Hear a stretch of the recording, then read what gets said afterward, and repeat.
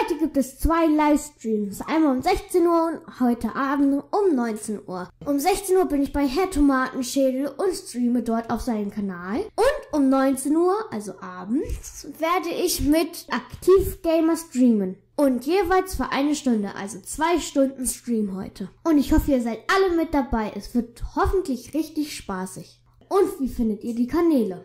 Die Kanäle sind in der Infobox verlinkt. Wenn es heute um 16 Uhr nicht klappt, könnt ihr um 19 Uhr vorbeischauen. Also bis gleich. Ciao.